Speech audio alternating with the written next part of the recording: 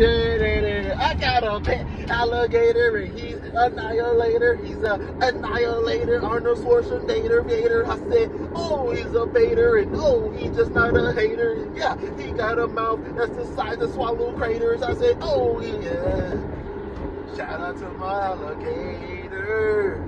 He will eat up all you haters. He will eat you now and save you later. Yeah, my alligator, he's an annihilator, annihilator, Arnold Schwarzenegger, gator, like, oh! what the?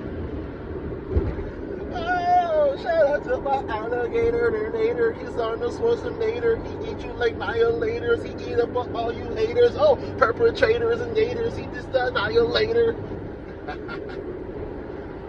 I'm just not messing with you.